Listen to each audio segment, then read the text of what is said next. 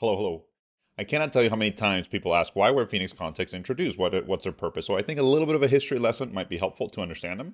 So why were contexts introduced? Well, Phoenix apps prior to I think it was version 1.3 were very MVC in the sort of Rails way. Like you had models, you had views, controllers, and that meant your directory structure was re- reflected that. It would reflect that. But then it came, uh, I think again, it was Phoenix 1.3, and it says Phoenix is not your app. That was kind of the idea. So they separated the web, and that's why you have sort of my app web, right? Where you have your controllers, views, live views now, all that kind of things. And then you have your regular, like the rest of your app that lives under lib whatever, right? Your regular namespace. And you typically have your schemas in there. But the question remained well, what about this, right? Suppose this is like a controller. You have a product that calls a change set and inserts, and then maybe you assign that and redirect and all that good stuff.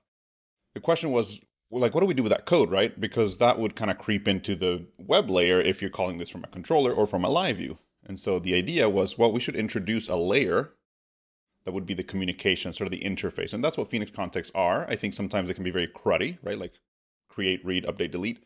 CRUD, because that's sort of how you get generated if you're sort of just updating users, right? Or something like that. But they don't have to be that way. And so the idea was to move something like this into something more like this. Now you have the checkout context and where you can create a product. I hope you like it.